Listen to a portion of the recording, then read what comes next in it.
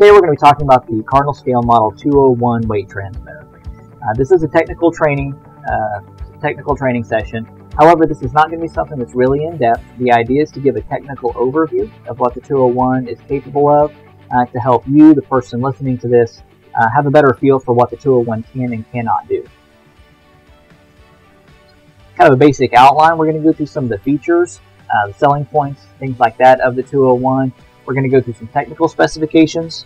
We're going to go through the available communication types. There are several, so we'll be spending a, a fair amount of time there. We're going to do some setup via the web page. We'll see how that works. It's a really nice feature.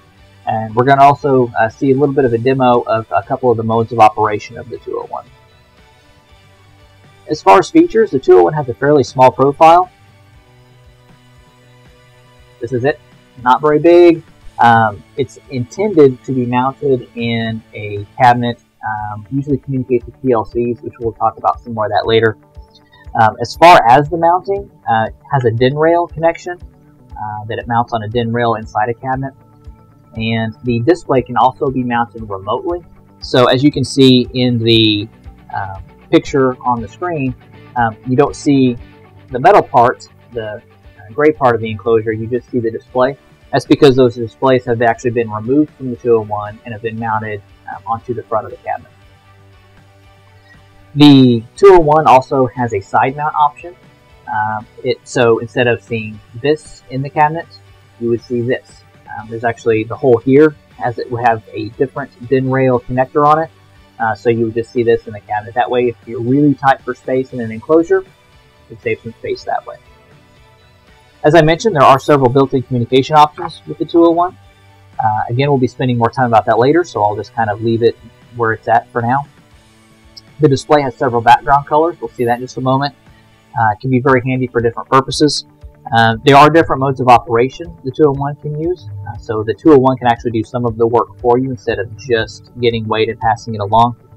And then again, the web-based setup, uh, we'll see that in more in detail later. We'll also talk about a fairly new feature that we have for the 201 webpage. Um, we'll talk about that more later as well. As far as technical specifications, the 201 is an NTEP certified weight indicator. Uh, that means that it can be used in legal for trade applications, so it can be used for those purposes.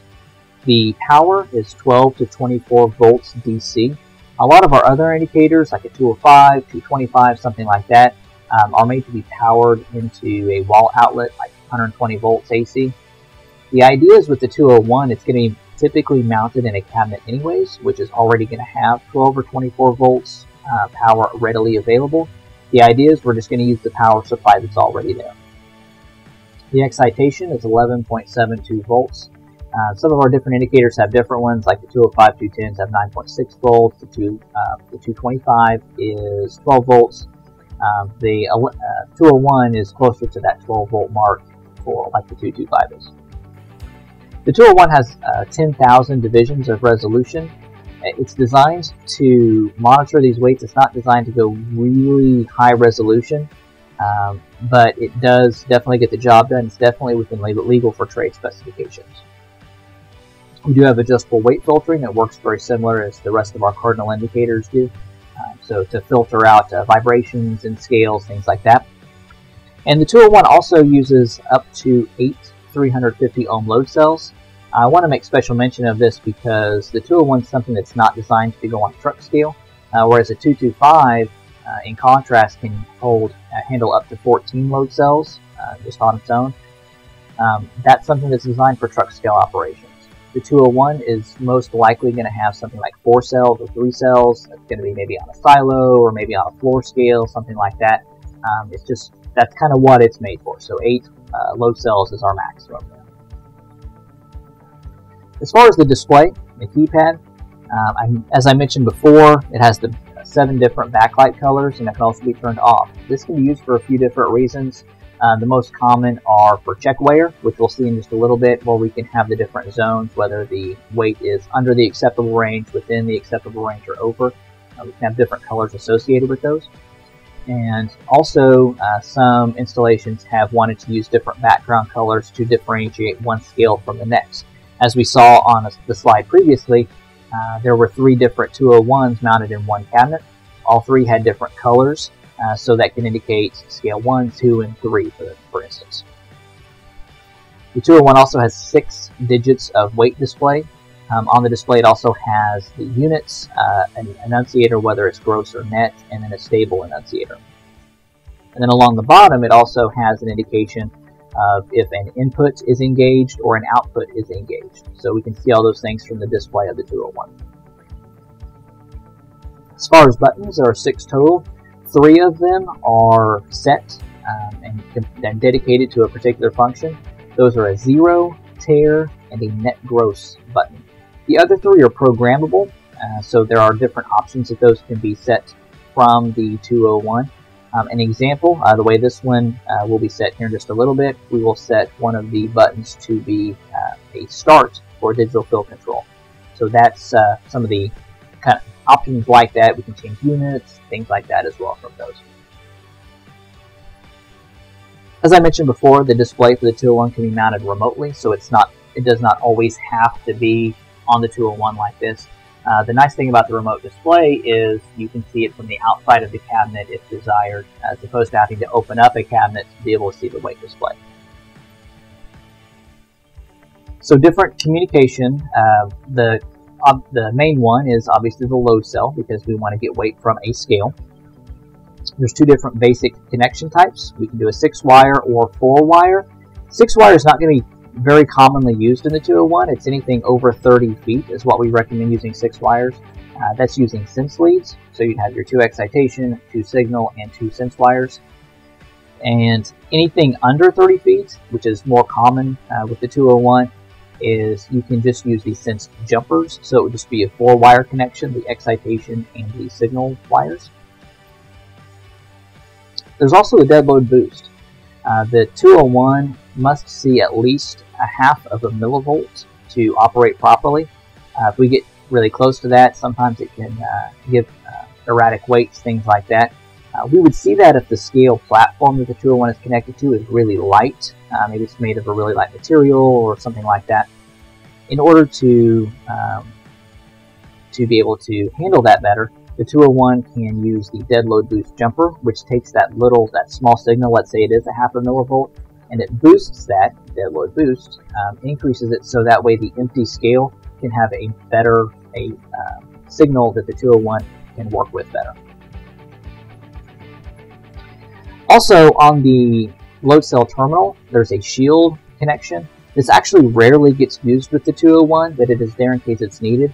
Uh, the shield terminal that's on the load cell connection would typically only be used if the load cell cable from the 201 to the scale base is really long, like several hundred feet long. Um, most, again, most times uh, the 201 is going to be in a cabinet that's fairly near the scale. Um, so it's actually better and cleaner of a connection if we mount the uh, shield wire to the uh, to the actual case of the 201. In the example in the um, 201 I have in this enclosure, I actually have it mounted to this screw right here. And that, again, just makes a cleaner connection. The weight readings uh, will be more consistent, uh, just overall better operation. As far as serial communication, the serial port is on the lower right of the 201. That can be RS-232 or RS-485, and these are both bidirectional if we set them up that way. Uh, the RS-485 is going to be used if we need to have um, the serial connection addressed, uh, kind of like an IP address over an Ethernet connection. Uh, so we can use uh, communicate with multiple devices over a single serial port, whereas RS-232 is communication between just one device and another point to point. With the bidirectional communication, that means that we can send the 201 commands. We can send commands to do things like zero the scale, set tare weights, um, in certain modes of operation, we can set send commands to do certain things in those modes of operation. There's a few different continuous data formats in the 201, which means we're able to uh, continuously send out weight from the 201 to a computer, to a PLC, or whatever device is needing that. You can set it to scoreboards, things like that as well. Um, I mentioned the on-demand, uh, the bidirectional communication. Um, we can send commands. Uh, we can tell the 201 to do things remotely. And the 201 also has a print function. Uh, we don't use it a whole lot on the 201, but it is there. We do have some people that use it and, really like it. Uh, we can print tickets just like a regular weight ticket uh, that we might print from a 210. And also that weight can be, instead of um, being sent out like we would for a ticket, uh, which has like carriage returns, line feeds, things like that, uh, things that tell the print to go to the next line, we can send that print data as a CSV output, uh, which means that it might have the weight, a comma, and then that it's gross and comma, and the weight units, comma, things like that. So it's flexible that way. Um, something that you might use that for is sending weight data to a computer, that the computer might be able to see that comma separated information better than it would the other format. The 201 also has a USB connection, which is on the top right of the case, right here. It is a mini USB cable, and the communication, oops, and the communication is basically exactly like the serial port. The settings are very similar. Uh, we can do the, the bidirectional communication. We can send the same commands. We can send continuous data out of that port. It just works exactly like the serial port does. The neat thing about the USB port is that it gives us an option to easily field upgrade the 201 software. It's not something that happens very often, but in the rare case that it does, uh, the 201 is actually, in my opinion, probably the easiest indicator we have to upgrade in the field. Uh, just communicate, uh, connect the USB, plug it into computer. It's literally a matter of dragging and dropping a file into a folder, and it's done. As far as Ethernet communication, the standard 201 out of the box uses DH, it's set for DHCP, which means that whenever it connects to a network, it automatically obtains an IP address from that network. It can also be set for a static IP address going through the setup. And the nice thing about the DHCP is um, it can connect, communicate or automatically connect with any network. And um, when the 201 boots up, it automatically tells you what the IP address is. So that way we can go like to the web page setup, which we'll see in a moment, and we can go in, type in the IP address, and we can see exactly um, all the settings of the 201 and things like that. It's a really handy feature. The raw socket connectivity is something that we would use to communicate the 201, let's say to an office type computer. Um, the uh, raw socket connection works just like a serial port. We have the same commands um, that we do with the serial or like with the USB.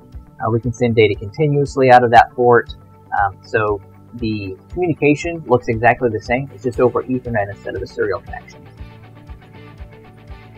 For PLC communication, which the 201 is probably more commonly used for, uh, we use EIP, Ethernet, uh, Industrial Ethernet, or a Modbus TCP communication. With these, they have their own different commands that we can send. We can set tare weights, we can zero the scale, uh, sometimes we can even set target weights for digital fill control, things like that. Uh, but those are things that we can send from the PLC. Again, the commands will look different than the serial does, but a lot of those commands are, are very similar. They do the same function. The DAC communication, or the analog outputs and inputs, actually have my meter set up to view the analog output from the 201. We can set it up two ways. We can view, or we can monitor the current, 4 to 20 milliamps, or we can view, or monitor rather, the voltage, 0 to 10 volts. And what that does is that voltage or that current uh, change based on the weight that is on the scale. We can also do an input, which uh, is an alternative to a load cell input. So with the 201, we can send out, so like right now, the scale is at zero, and it is sending out 4 milliamps the way I have it set up. We can also have it set to where that works in reverse.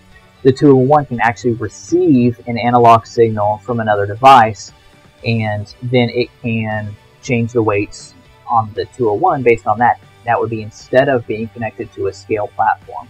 So it can get the weights in a different way. So we do have that as an option. And the negative weight values, sometimes, um, let's say we're tracking the net weight on a scale.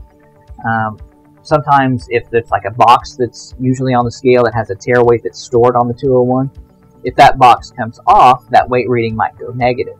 So with that, uh, some installations like to be able to track the negative weight. So in order to do that, it requires a setup from the web page. We can't use negative numbers in the 201. It's possible, but it requires the web page setup. I also want to take a moment just to kind of demonstrate what that DAC output looks like. So as I increase the weight on the 201, so right now the weight reading is 3,565 pounds and my DAC output is 9.7 milliamps. So it tracked with the weight reading as it increased. The digital inputs and outputs, this is one place that we really get a lot of questions on as far as how it works, how it's connected, things like that. The one thing that is unique about the 201 is it always requires us to supply a source voltage. So if we have a 210 or 225, we can actually pull the power to control the relays or whatever the outputs are connected to. We can pull that from the indicator itself. With the 201, we have to supply that voltage. Now, with that being said, it's usually not a big deal because again, these are typically installed in a cabinet where there's 12 or 24 volts, something like that, very readily available. So, but the, the key is it has to be supplied to the 201. The 201 does not supply the voltage itself. We can use inputs for remote key presses, uh, similar to what the function keys were used for that we were talking about earlier. Uh, we can set one to change units, or we can set a remote input to zero the scale, things like that or to start a process like digital fill control. This is where a lot of people um, assume that the 201 works like our other indicators. The outputs work off of a sinking type connection. Uh, so like with the 210 or 225, whenever we want to engage a relay, let's say, uh, we um, put voltage to an output. So we say, okay, well here's 5 volts or 15 volts. Turn the relay on. With the 201, that voltage is actually always there to the relay, but what we do is we essentially connect the ground. Uh, so it, it has the same end result as far as what it can do, as far as controlling a relay, things like that, but the sinking output um, connects differently, which means that the wires go in different locations whenever we're wiring it up. And that's why I included this wiring diagram uh, it's this is right out of the manual, but it, it illustrates that very well. Those outputs a lot of times can be used for either the check weigher or the digital fill control, which we'll see some of that in just a few minutes also. So I want to look a little bit at the uh, web page setup for the 201. So what I'm going to do is I'm going to open up my web browser. I'm going to key in the IP address for 201, which in this case is 10.1.0.191. And again, I saw that whenever the 201 was booting up earlier. And so here we have the weight display for the 201. Um, the background color matches the background for the display on the 201. Um, we can actually use the buttons. So from here, I can zero the scale um, you can see down here it monitors the output. So um, right now output 1 is engaged, and we can see that on the display here as well. I'm going to go through just a few of the settings. So here's a screen where we can set the, that says weighing input, so we can set the units, interval, decimal, capacity, things like that. One thing to note on here at the very top, it says read only. Press cal button on device and then refresh page. Any metrological parameters, things that are controlled by legal for trade um, um, applications, uh, require the 201 to be in a setup mode. So the calibration switch still has to be, the screw has to be removed and the switch has to be pushed in. And then if that was the case, then I can go in and I can set these settings however I wanted to. Here's the screen with the filtering. It's the same thing. It's read only. I cannot uh, change anything on here until I press the cal switch. The communication is set up from this web page as well. With the Ethernet, this is probably the easiest place to set up the Ethernet. Um, with the 201 display, you can imagine we can only see one thing at a time. And, and you can see here there's a lot of settings to go through, especially when you start looking at the IP address, where the IP address has four parts just for the IP address, things like that. So here we can turn the Ethernet on or off. Uh, we can turn the raw socket connection on or off, the Ethernet IP on, on or off, and then the same with the Modbus. And we can set, uh, there's different things, um, different settings we can have for each of those as well. But again, um, for most people that work with the 201 very much, they start using the web page because it's just a lot easier to work with, especially with the Ethernet settings and, and really with, with pretty much all the settings. The USB, um, again, we can set this for on demand, which would be that bidirectional communication. We can send it a command, um, or we can set it for a continuous output. Serial port is the same way. Um, we talked about the printing. There's a couple pages for that. The digital inputs and outputs.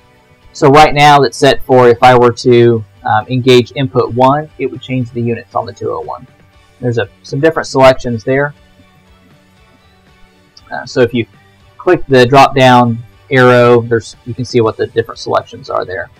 Right now, I have this set up to uh, check weigher mode. When it's in the under, it out engages output 1. When it's in the accept range, it engages output 2. And uh, outputs 3 and 4 whenever the it engages um, are engaged whenever it's in the over range. So we can go back to the home screen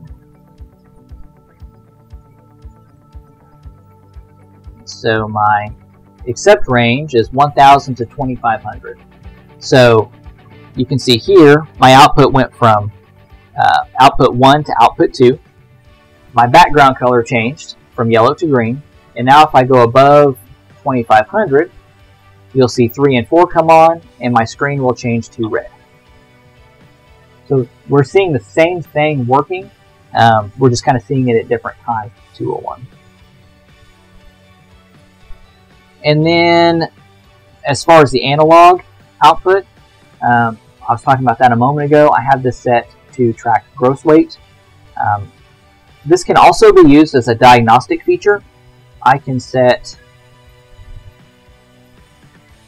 so right now my display shows 8.1 milliamps. If I change this DAC1, which is the um, the current, if I set it to 12 milliamps and I click submit, now my meter is showing 12.0 milliamps. Um, that's a diagnostic feature. That way, if the PLC is expecting a certain milliamp, uh, a current rating, um, it can the PLC can be set based off of those values.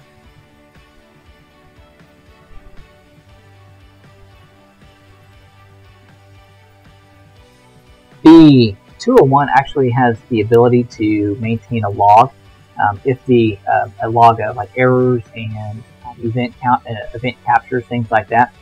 So with this, the 201, um, if you install a micro SD card on the inside of the 201, it will um, keep a file log of different. Somebody pressed the zero key, things like that, and that is actually also viewable from the home screen down at the bottom, there's a, a section that says log. And so the last couple of things that I did were um, I changed the weight, re uh, the uh, over, under, accept. Um, I changed the setting for the DAC output and just some things like that. It shows me, so somebody can go to this page and see, oh, it's not reading correctly because somebody pressed zero or because somebody calibrated the scale and they were not supposed to you can see things like that from this log. And again, if the um, the micro SD card was installed, there's actually a file of that.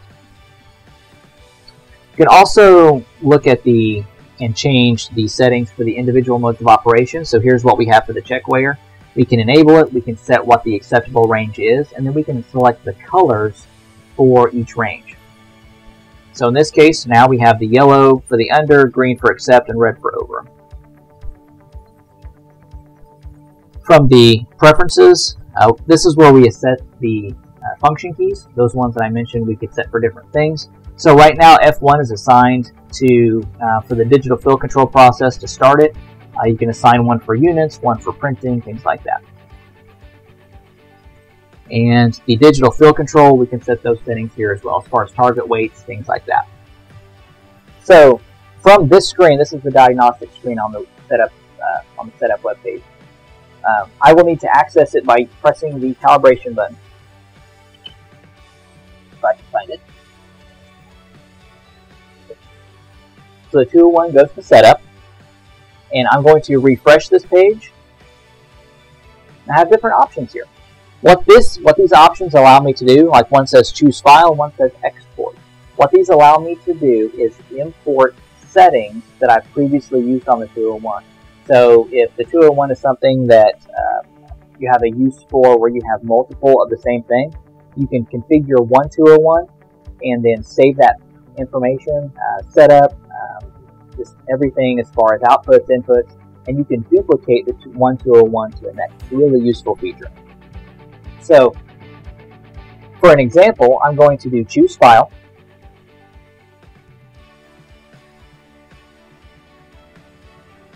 I'm going to find my digital fill control, double click that, I'm going to do send configuration. And so now this is configured for digital fill control. So if I press F1, it tared the scale and it's now ready for me to start filling.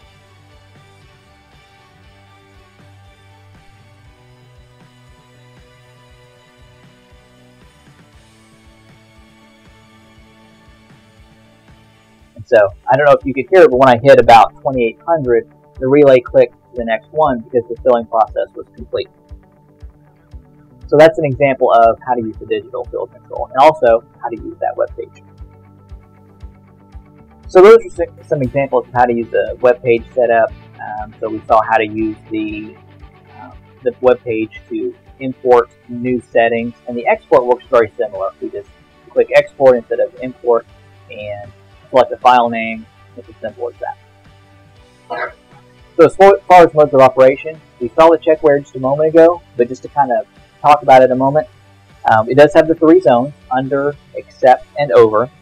We do have the different backlight colors. Again, there's seven different ones to choose from, so they can be set however you prefer. Um, they do engage outputs, we saw that earlier.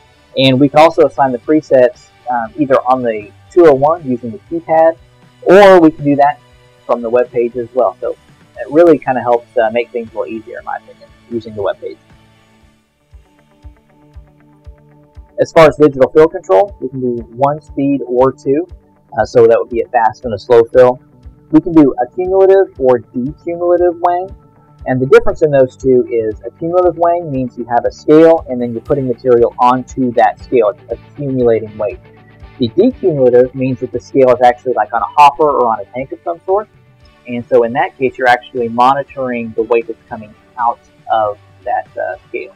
So the difference is when the scale weight is actually decreasing, the weight reading on the 201 would be increasing. That's what the decumulative does.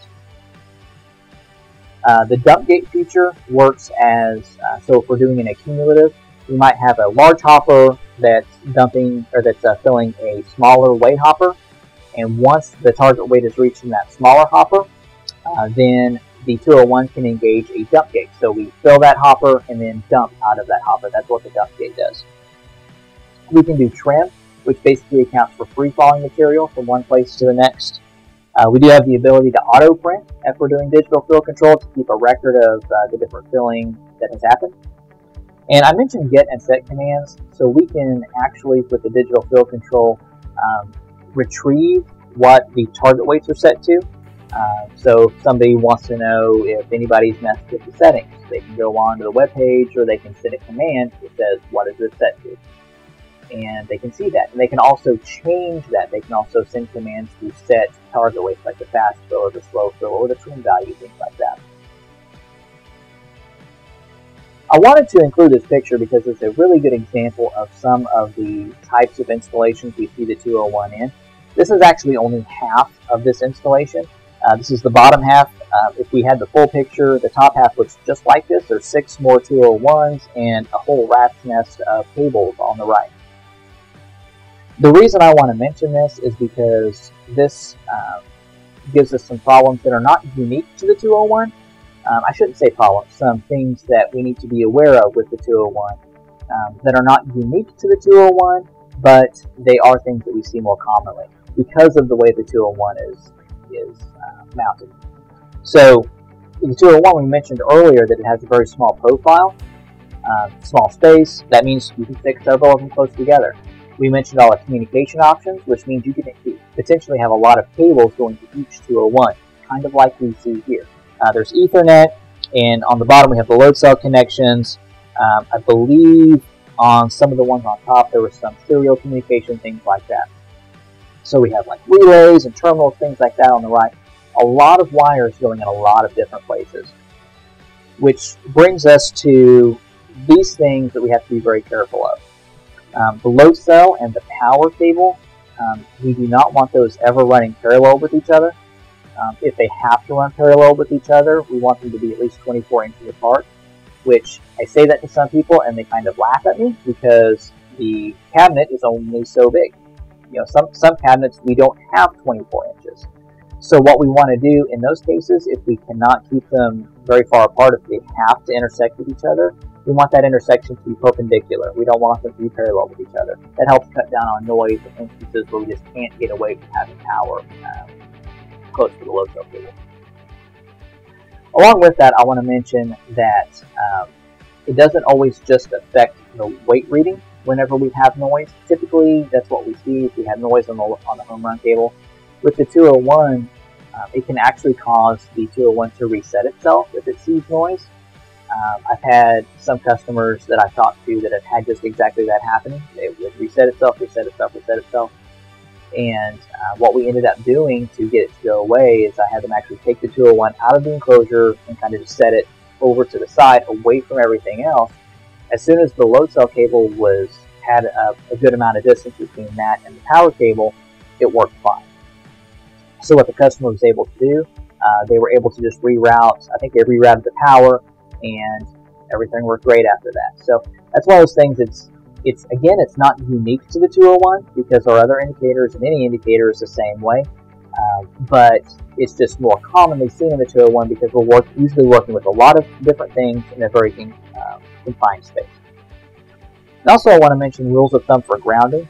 The basic idea for grounding on the 201 in a enclosure is that everything should be going back to the AC ground. So on the back of the 201, we talked about the DIN rail connection. Most times in a cabinet, the DIN rail is connected to the AC ground. So the 201 is automatically connected to the AC ground. Um, the, or the earth ground rather. The cabinet, the enclosure itself, the outside is going to be the same way. Uh, in the example I have here, the there's a green wire that goes from the um, case of the 201 to the enclosure itself. So everything is going back to this, which goes back to the ground, and just all the ground is tied together. We want that because that really helps us have a really clean uh, communication, and everything uh, works a lot more smooth when everything goes back to that same ground. With all that being said, I appreciate your time today and uh, learning some more about the 201. I hope this was beneficial for you.